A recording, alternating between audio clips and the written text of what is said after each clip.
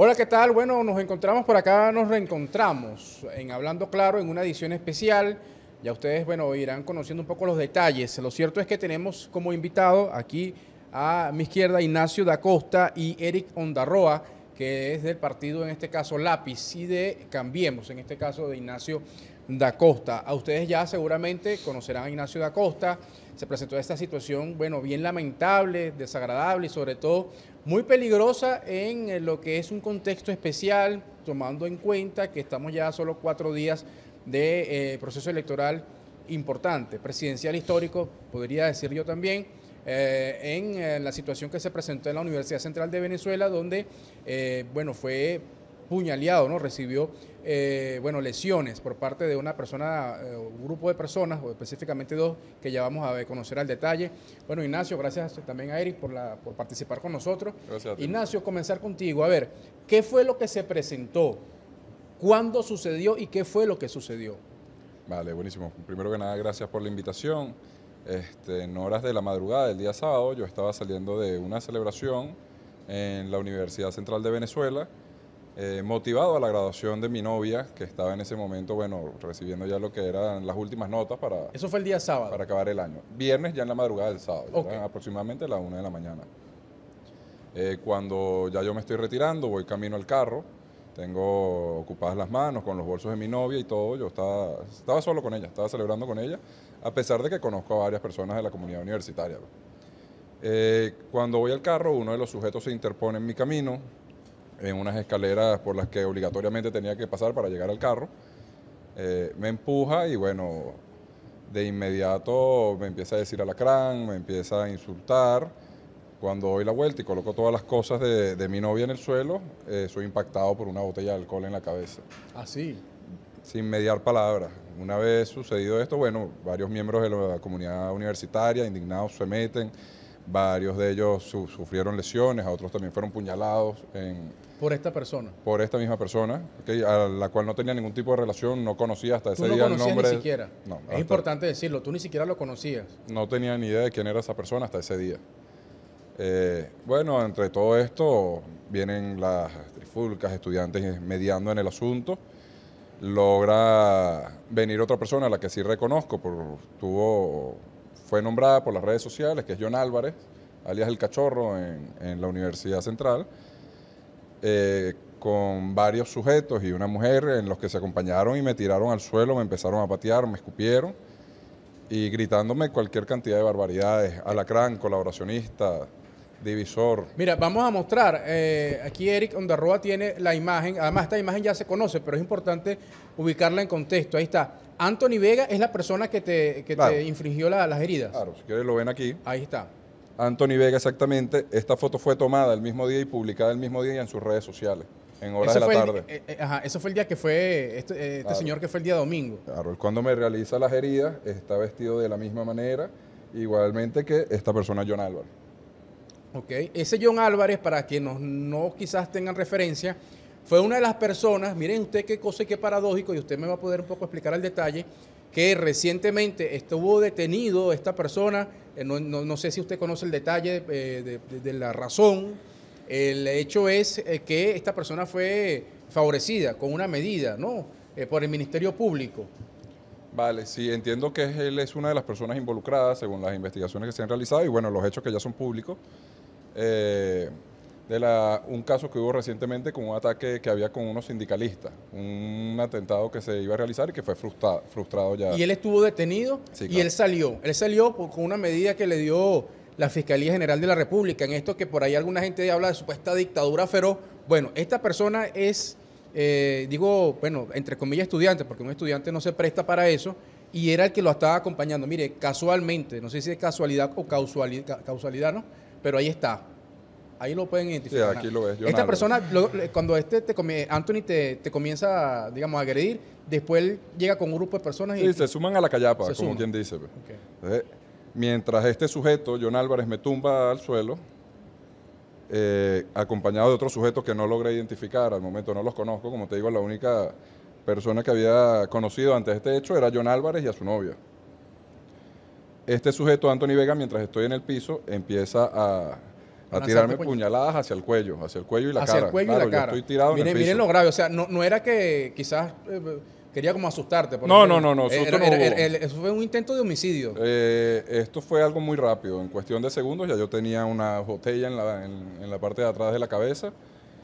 Estos sujetos me, me, atacan, me tiran al piso, mientras yo logro además, conmocionado por el ataque que tengo eh, y por el, por el impacto de, de la botella en la cabeza, Además de que tengo que proteger a mi novia ante todo esto, yo estoy solo con ella. Muy bien. El sujeto Anthony Vega intenta lanzarme directamente hacia el cuello y la cabeza. Eh, no obstante, yo una vez me, me intento cubrir. esa toma, eso, vamos a subir la Yo una vez me intento cubrir, ¿verdad?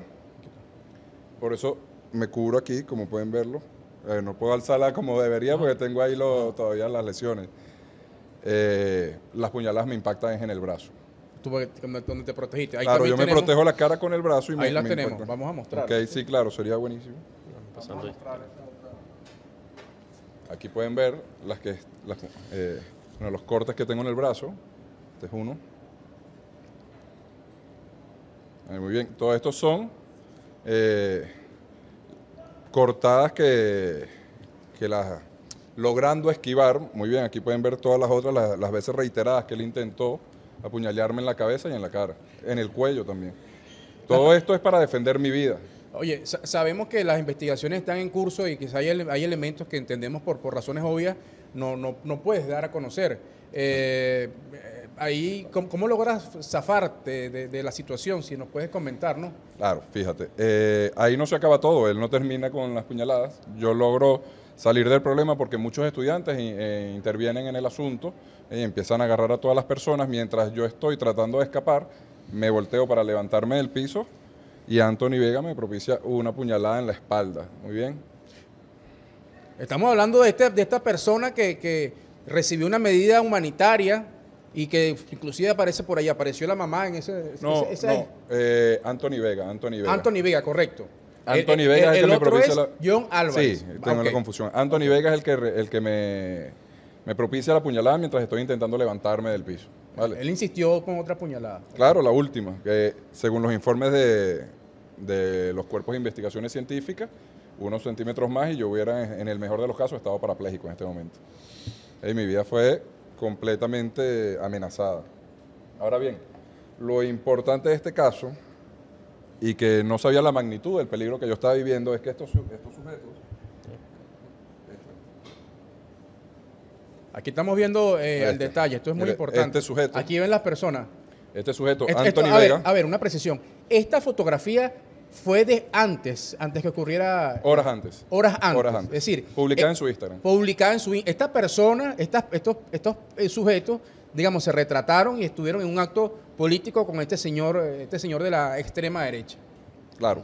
Ahora, bien, cuando nuestros, nuestros compañeros empiezan a investigar el asunto desde el comando, logramos identificar a Anthony Vega, como te digo, ya yo no lo había, yo no tenía contacto con él, todos los estudiantes y todos los testigos que habían en la escena, que incluso ya han declarado ante el Ministerio Público, lo identifican como Anthony Vega. Cuando vemos las investigaciones, Anthony Vega estuvo detenido por la muerte del entonces diputado Robert Serra. O sea, que es una persona que ya tiene antecedentes penales. Pues. Y por el mismo caso. Por, por caso de... En, en mi caso, gracias a Dios, fue un intento de homicidio. Sabemos cómo terminó lo del diputado Robert. Ahora bien, aquí lo preocupante de este asunto es cómo personas que han estado eh, involucradas en un asesinato no son, no son presos políticos, no podemos confundir esto con presos políticos.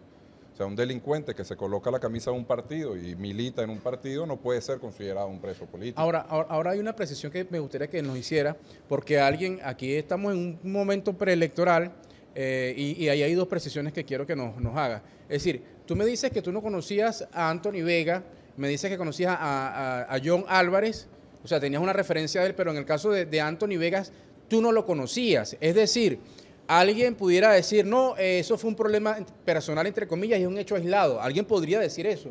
A ver, eh, eso es una motivación, o sea, podemos decir y podemos ratificar que la motivación de ese hecho además es político. Te pregunto. Sí, por supuesto, mira, como te lo repito, jamás tuve contacto alguno con Anthony Vega. Y de John Álvarez lo conocía por las redes sociales. sé que estudia en la universidad, pero jamás había contactado con él, no, habíamos tenido una conversación, nada. O sea, tú, nunca lo tenías. No, no, y, como te digo, mi presencia en la universidad era por la graduación de mi novia. Aquí pueden verlo como lo que iba a ser la graduación de mi novia, cuando acabó todas sus materias, terminó convertido en esto, en este baño de sangre.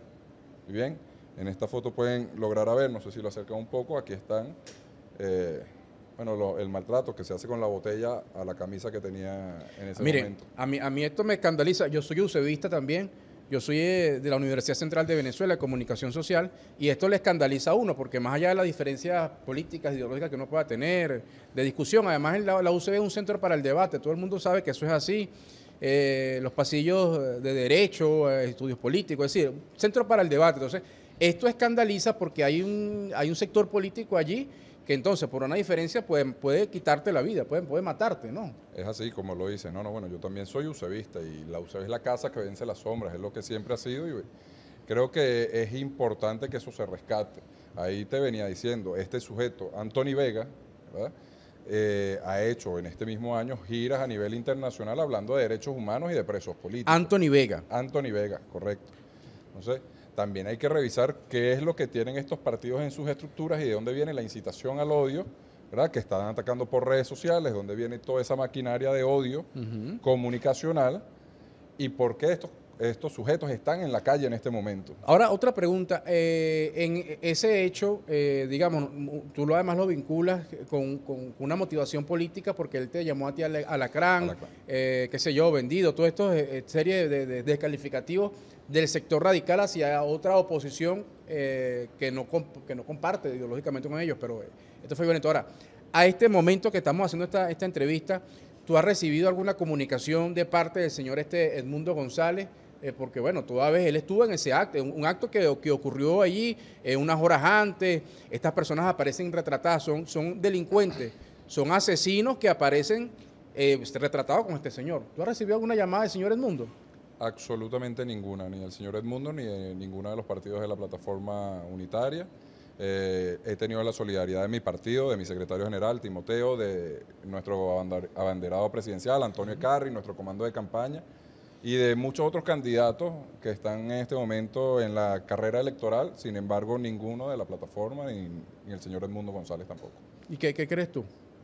Tú además como, como dirigente político, te diputado a la Asamblea Nacional, suplente, ¿qué, qué, qué lectura puede tener que estas personas eh, hayan estado en curso en un intento de asesinato y resulta que se, se, hayan fotografiado con un candidato presidencial, imagínense ustedes, y que a esta altura este señor, sin ser nada, no, no, es nada aquí, no tiene ninguna, digamos, no es ni, ni, alcalde ni nada, pero ni siquiera es capaz ¿no? de, llamarlo a usted. No, no, no. Ah, eh, como te repito, ninguna llamada de ese sector. Eh, los compañeros que han sido solidarios son, bueno, los que están con nosotros, los que están en la ruta democrática tienen, tiene que ser un tema político. O sea, ¿Esta persona será que está bajo los efectos del alcohol? No podría decirte, droga? No podría decirte, igual como te digo, también hay elementos que tiene la Fiscalía y el Ministerio Público donde no, no, se puede hablar mucho sobre la investigación. Sin embargo, lo que sí te puedo decir es que el sujeto, mientras me apuñalaba en el piso, decía, a mí no me importa matarte porque eres un alacrán. Así te decía. A mí no, me, importa matarte porque ya yo estuve preso.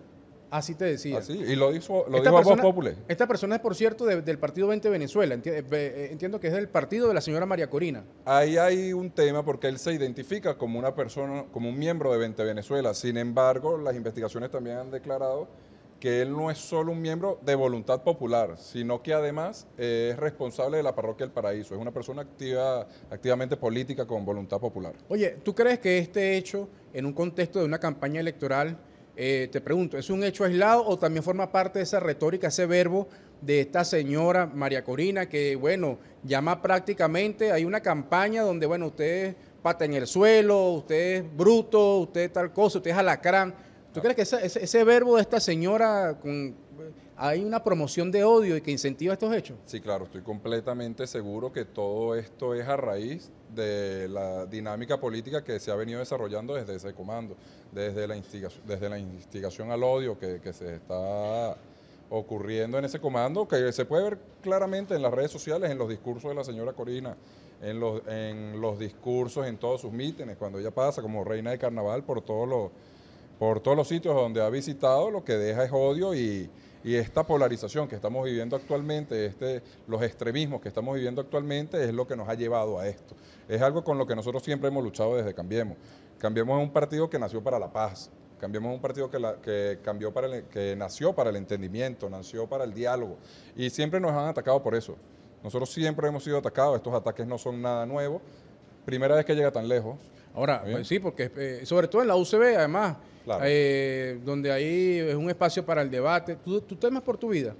Sí, claro que temo por mi vida. Temo por mi vida. Fue algo que yo incluso expresé en el Ministerio Público. No solo mi vida, la de los estudiantes que, intercedieron por mí, la, de mi novia en este momento. O sea, claro que temo por mi vida porque yo no sé cuál sea el origen de todo esto. Ah, no, y si este sector llega hacia el poder, ¿qué, ¿qué, podría pasarnos? Porque si este señor que se fotografía con estos criminales con estas personas que intentaron matarte, eh, no tiene la, o sea, no, tiene el, nivel, ¿no?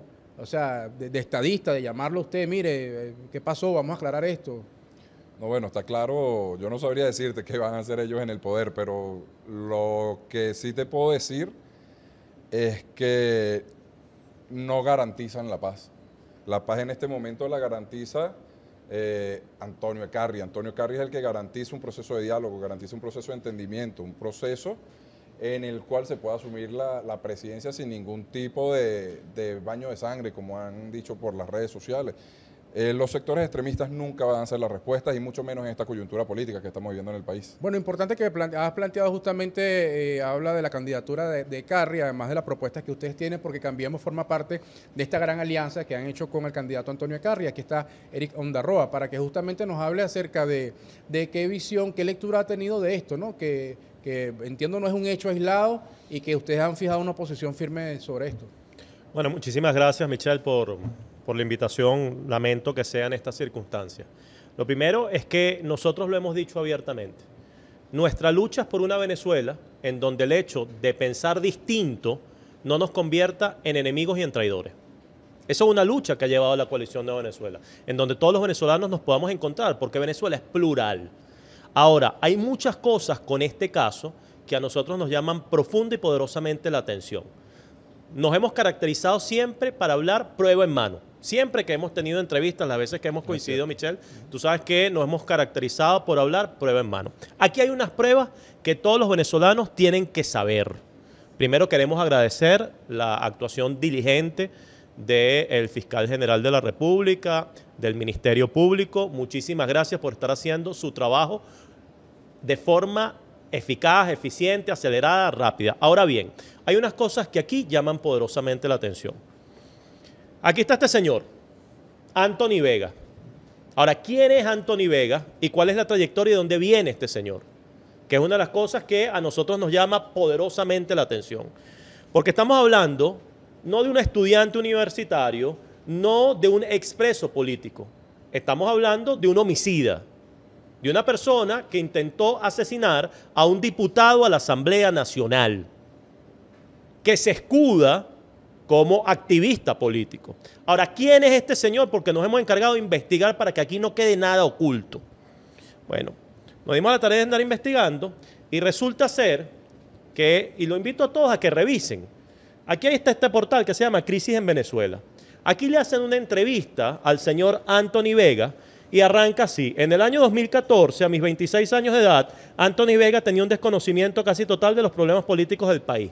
Bueno, ahí siguen explicando. Él mismo reconoce que él era una persona que andaba con arma, armado, que andaba por la mala vida, pero resulta ser que este señor estuvo implicado y fue investigado por el homicidio del diputado Robert Serra en el año 2014. Ahora, qué casualidad, ¿no? Cómo lamentablemente perdió la vida el diputado Robert Serra. Diputado, bueno, 36 puñaladas recibió el diputado Robert Serra. Ahora bien, en octubre del año 2014, el hoy candidato a la reelección, Nicolás Maduro, en cadena nacional, alerta que habían sido capturados las personas que estaban involucradas con el homicidio del diputado Serra. Y entre los nombres que señala el hoy candidato Nicolás Maduro, ¿a quién nombra? A Anthony Vega. Anthony Vega pasa dos años y ocho meses recluido en el helicoide, luego le libran una boleta de escarcelación, termina en Tocuyito y a los cuatro años el tipo sale libre. Ahora, ¿cómo es posible que diez años después un tipo que estuvo vinculado y que fue investigado por el asesinato a un diputado de la Asamblea Nacional, hoy esté caminando tranquilo y haya intentado una vez más caerle a puñaladas a otro diputado de la Asamblea Nacional. ¿Cómo es posible que un tipo que fue investigado por matar o presuntamente vinculado por matar, por quitarle la vida a un diputado, viene y apuñala a otro diputado en la Universidad Central de Venezuela y es el mismo tipo que posa horas antes frente a un candidato presidencial? Nosotros exigimos que ese comando de campaña de ese candidato presidencial dé la cara y asuman sus responsabilidades. No sean cobardes, ¿vale? ¿Hasta cuándo tiran la piedra y esconden la mano? ¿Hasta cuándo van a seguir propiciando violencia y haciéndose los locos, Michelle?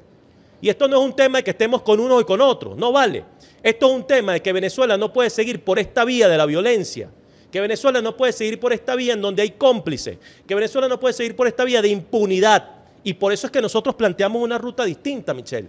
Porque no es justo y no tiene sentido que día tras día aquí la violencia va aumentando. Y aquí nadie dice nada y aquí nadie quiere poner un parado. Nosotros tenemos una propuesta. Y es que por eso que nosotros decimos que la coalición Venezuela conformada por Cambiemos, Avanzada Progresista, Min Unidad, Movimiento Ecológico y Lápiz que trae la candidatura de Carri, es para que nosotros podamos reencontrar a la familia venezolana en paz sin violencia, sin conflicto, Michelle. Porque hoy los dos extremos, los dos polos nos están llevando a un choque de trenes en donde los únicos perjudicados no son los acomodados de un extremo ni de otro. No son los acomodados de los que ejercen el poder en Venezuela. No son los acomodados de los que tienen los recursos del interinato que les permiten hacer todas las marramucias que viven haciendo. Que indigna, ¿vale?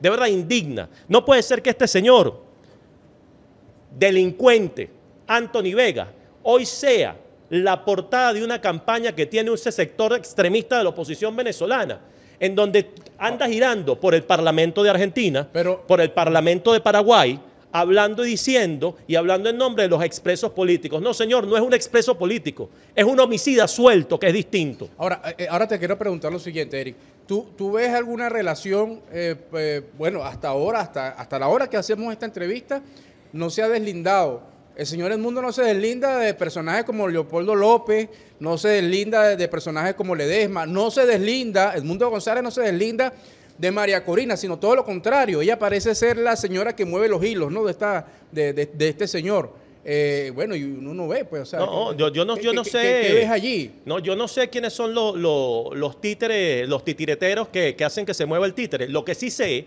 es que esto es una conducta reiterada, Michelle. Y lo que no puede ser es que esta misma conducta, hermano, fue lo mismo que pasó en el 2021 para la alcaldía de Caracas. Lo que pasa es que aquí tenemos memoria corta. Porque en el 2021, cuando fuimos a competir para la alcaldía de Caracas, estos hijuetos que están aquí de voluntad popular, y aquí los pueden ver cuchillo en mano, denuncia que se hizo en la fiscalía y que ahí lamentablemente no actuaron tan diligentes, estos tipos siguen libres, uno es concejal suplente de Caracas, también intentaron apuñalar al hoy nuestro candidato presidencial. Eso fue cuando fue la alcaldía de Caracas, la misma conducta reiterada. ¿Tú crees que eso tiene, ahí, ahí tú estableces responsabilidad, eh, de, una responsabilidad intelectual? es que nosotros, ¿qué estamos exigiendo? ¿Qué exigimos nosotros? Uno, que así como le debe caer todo el peso de la ley, con las agravantes de ley, porque ojo, el intento de homicidio a un diputado a la Asamblea Nacional, eso tiene agravantes en la pena. El hecho de que sea reincidente la persona que está cometiendo el delito también tiene otras adicionales para la pena. Todo eso lo establece el Código Penal. Ahora, no solamente nosotros exigimos aquí que caiga todo el peso de la ley sobre los autores materiales, sino también que se investigue a fondo los autores intelectuales de estas conductas. ¿Quiénes son los que financian a estos grupos? ¿De dónde salen los recursos para que este señor ande girando por toda América Latina diciendo que... Eh, financiados por unas ONG, que nadie sabe dónde salen esos reales de esa ONG, vendiendo paz y diciendo ah, que él es un expreso político. Preso, expreso político. Un tipo que anda cayéndole a puñalazo a la gente es un expreso político o es un homicida suelto. Ahora aquí exigimos a ese comando de campaña Edmundo González, candidato presidencial, y todo ese combo del G4. Den la cara y o despréndanse y desconozcan lo que está sucediendo y que no tiene nada que ver con este señor, o digan de verdad qué es lo que está pasando. Porque aquí hay pruebas. ¿Usted cree que ellos puedan tener alguna relación ya, aquí hay pruebas. ya más directa? Porque no, aquí hay una prueba. O sea, el tipo el mismo día estaba con la misma camisa con este candidato. Oye, tengan moral, ¿vale? Digan algo, por lo menos, digan algo. les tiene que dar vergüenza. Porque aquí este diputado... este, no, se, no se deslindado de estos personajes. No han dicho nada, pero es que eso es lo que a mí me asombra, es que nadie dice nada. Aquí todo el mundo se lava las manos, aquí nadie dice nada, hermano.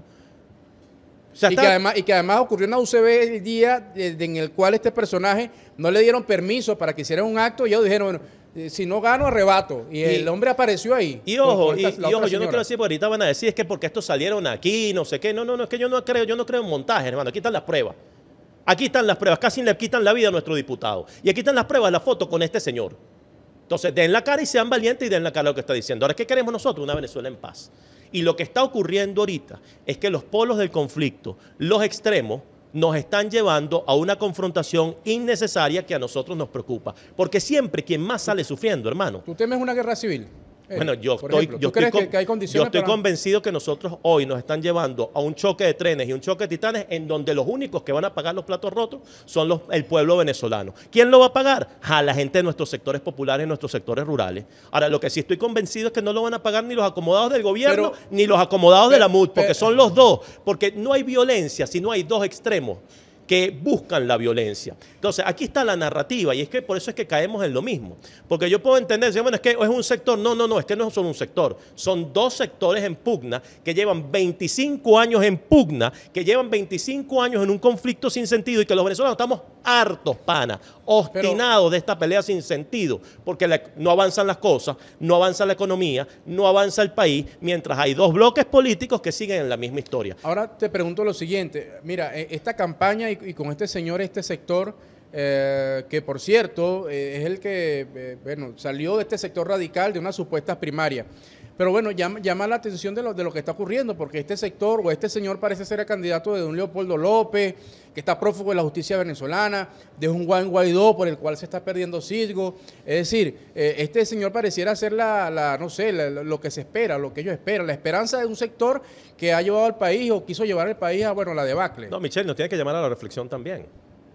Yo soy abogado. ¿Por qué no se deslinda de Guaidó? ni se deslinda de Leopoldo López. y menos de María Corina, que parece ser su mentora. Pero más allá, Michelle, es que tenemos que reflexionar como sociedad. ¿Qué me preocupa? ¿Qué es una de las cosas que a nosotros nos preocupa. ¿Qué clase de sistema de justicia tenemos si una de las personas que fue denunciada por el propio presidente de la República en cadena nacional en octubre del año 2014 estaba hoy y está hoy volviendo a cometer fechoría. Eso nos tiene que llamar a la reflexión a todos. ¿Cómo es eso?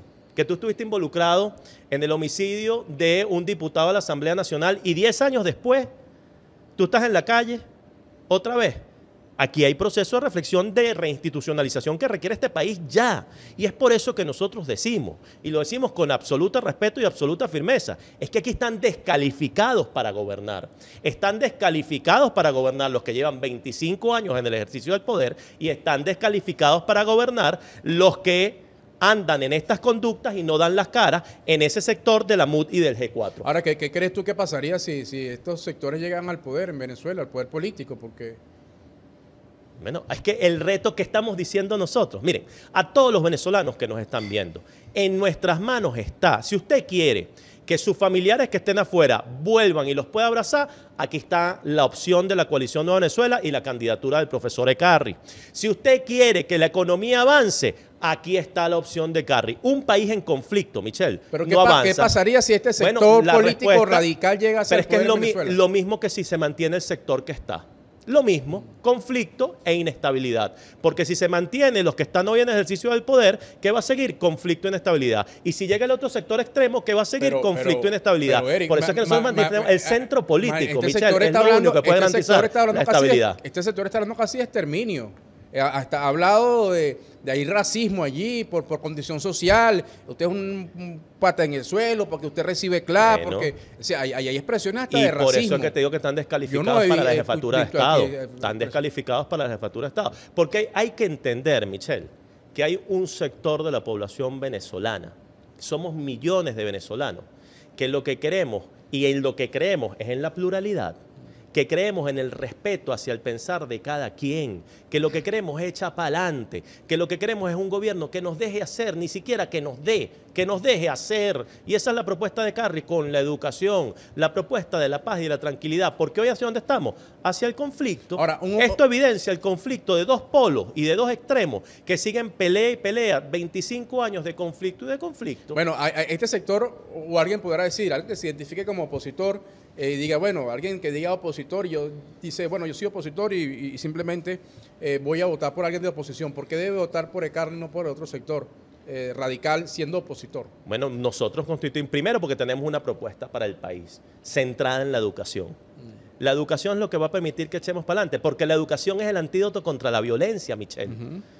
Es que la violencia no se, no, no, no se, no se elimina con opresión. La violencia se elimina con educación, generando oportunidades. La única manera de quitarle la pistola a la cintura a los muchachos es con educación. La única manera que vamos a salir adelante es con educación. Y porque Carrie viene sin rencor en su corazón. El Carri no viene a pasar facturas porque nosotros tenemos claro en esta coalición, y eso es algo que Timoteo Zambrano lleva años también diciendo, la importancia del diálogo y la convivencia pacífica. Nosotros tenemos claro la importancia de la división de los poderes públicos, Michelle. El Carri viene a ser el gran presidente que viene a unificar a la familia venezolana y que entiende que él no es juez a él no le toca impartir justicia, él no va a iniciar ninguna cacería de brujas. Aquí cabemos todos y tenemos mucho trabajo por hacer.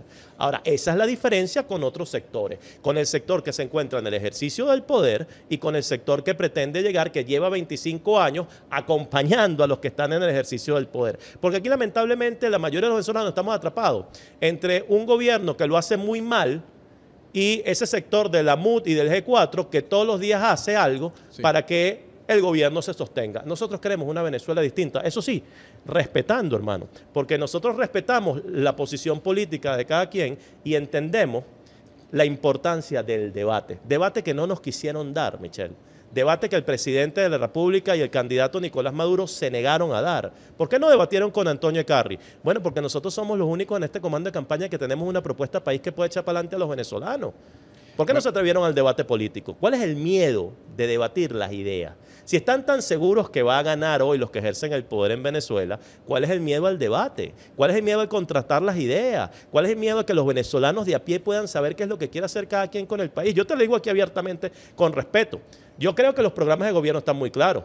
¿Cuál es el programa de gobierno del candidato a la reelección? Bueno, lo mismo que estamos viendo, que no haya agua, que no haya luz, que, no que tengamos unos productos en el club que no funcionan, que en el club que son de muy mala calidad, que la escuela esté abandonada, que los maestros tengan sueldos de hambre y de miseria y que los jubilados y pensionados no les llegue la jubilación de pensión para comprar la pastilla para la atención o para comprar la comida. Esa es la propuesta de ese sector político. Ahora, ¿cuál es la propuesta del otro sector político? La del mundo, no lo sé porque ni sé quién es el señor Edmundo y no hay ninguna propuesta política. ¿Cuál es de nosotros? Aquí está, lista para el debate. Estamos a tiempo. Estamos a tiempo de que demos un debate político serio porque el país se lo merece.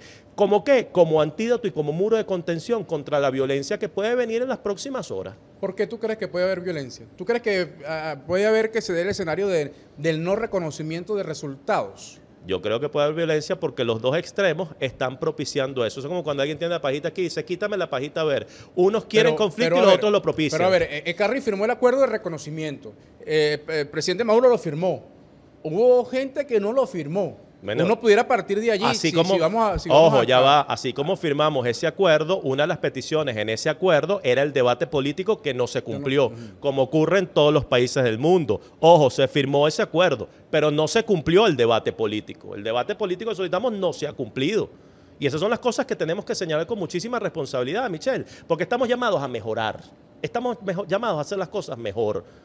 Ah, se firmó, sí, está bien, fuimos, es que nosotros somos una oposición constitucional que creemos... Pero hay un sector que no firmó. Ah, bueno, pero allá, no pudiera allá ese causarle extrañeza. Es que, bueno, allá ese sector. Es que nosotros no estamos con ese sector. que va a haber fraude. ¿Usted cree que va a haber fraude? Es que, hermano, es que yo te lo digo. Es que para mí, para mí los dos son feos para la foto. Es feo para la foto el PSUP y es feo para la foto la MUT y el G4. Los dos son feos para la foto. Y a nosotros no nos gustan ninguno de los dos, viejo. Ninguno de los dos. Para mí esos dos bloques y para esta coalición, esos dos bloques representan el hambre, la miseria, la división de la familia y el atraso. Y nosotros estamos buscando una Venezuela próspera, que permita que nuestros chamos crezcan, que echen para adelante, que podamos recuperar todo, hacer productivo a nuestro país con todas las riquezas que tenemos. Ahí hoy no lo veo. Ahora, ¿ustedes están preparados en, el caso de, esta alianza y de, esta coalición de partidos donde está Cambiemos a reconocer el resultado? Si el resultado, por ejemplo, no le es favorable, a, por ejemplo, al candidato de Carri. Claro, es que cuando... ¿Y tú sabes por qué firmamos? Porque yo estoy convencido que el 82% de los venezolanos queremos un cambio y que no nos gusta Nicolás Maduro en el poder.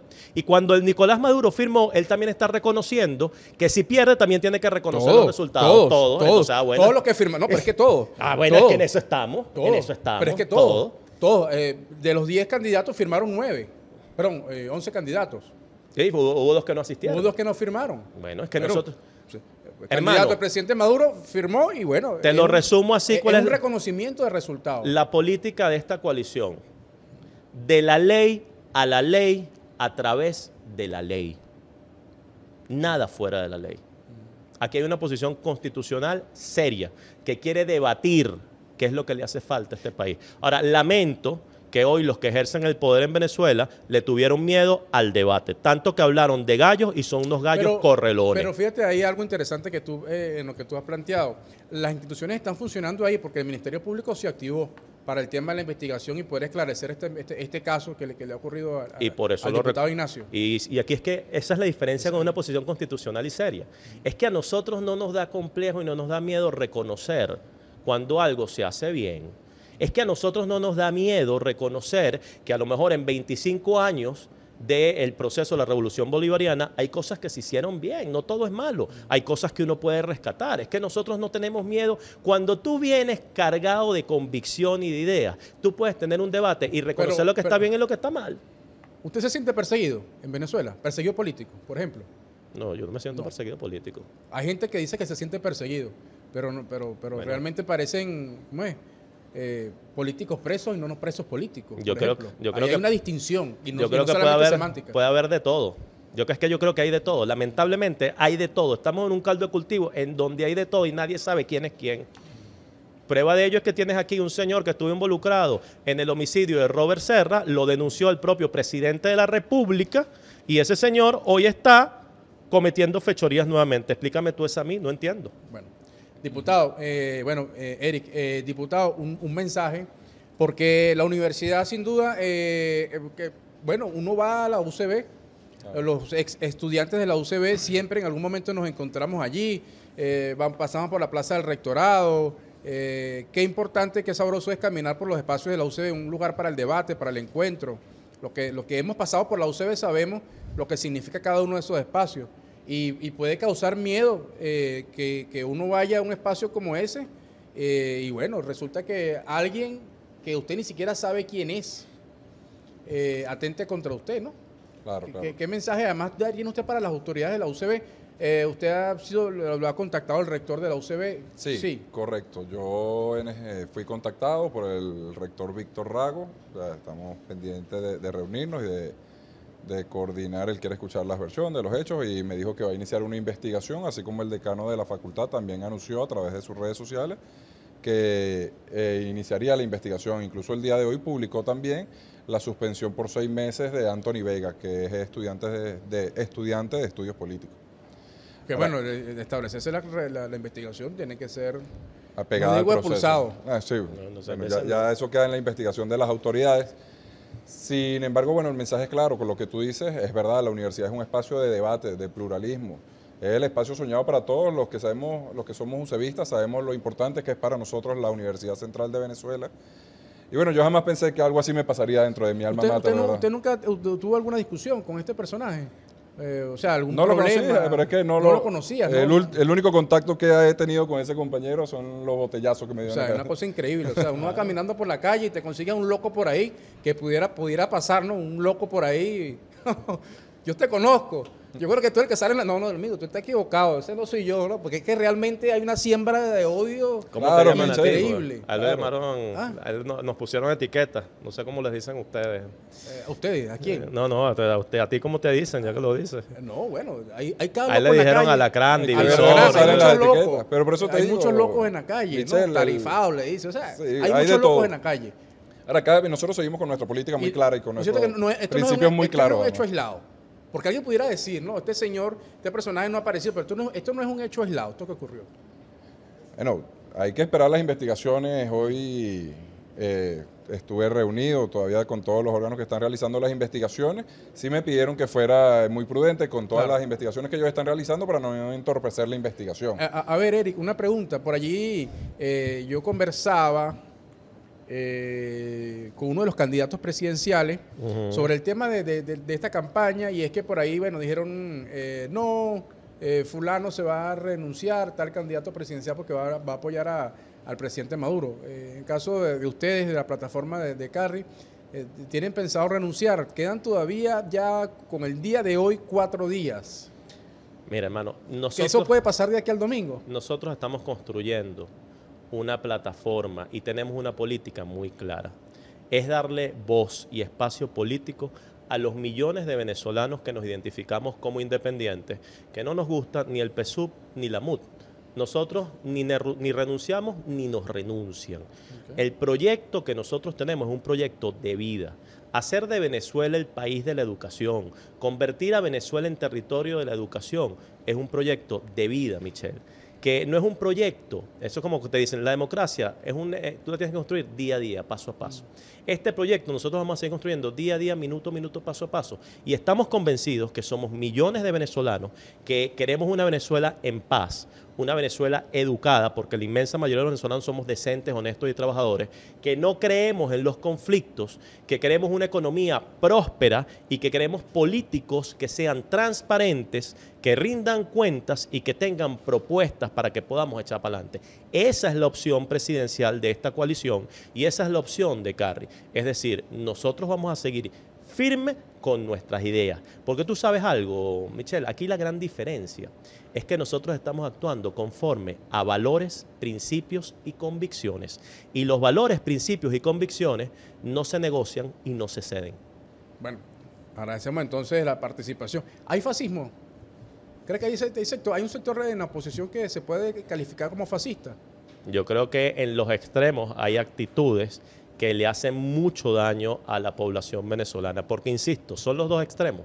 Unos llamando a actitudes que no deben llamar y otros reaccionando ante esas actitudes. Y mientras Venezuela esté entre esos dos extremos del PSUV y la MUD, no va a ser posible la paz que requieren los niños venezolanos para que se conviertan en ingenieros, en médicos, en deportistas o en lo que quieran ser. Y una Venezuela, Michelle, en donde el sitio en donde uno nace jamás se convierta en un alimentante para que tu sueño se pueda hacer realidad, viejo.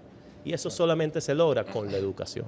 Bueno, gracias, eh, Ignacio. Ignacio da Costa, diputado a la Asamblea Nacional de Cambiemos y que forma parte de esta organización política de la plataforma que está apoyando al candidato Antonio Carri a la presidencia, eh, también a Erika Undarroa. Muchas gracias por estar Gracias con por nosotros. recibirnos, Juan. Y bueno, que sea usted eh, el día 28 que tiene, bueno, esa participación, tiene esa facultad y tiene el poder, ¿no?, de, de su voto para elegir a, bueno, a su candidato el de su mayor preferencia. Nos vemos y nos escuchamos en una próxima oportunidad. Cuídense mucho. Chao, Venezuela.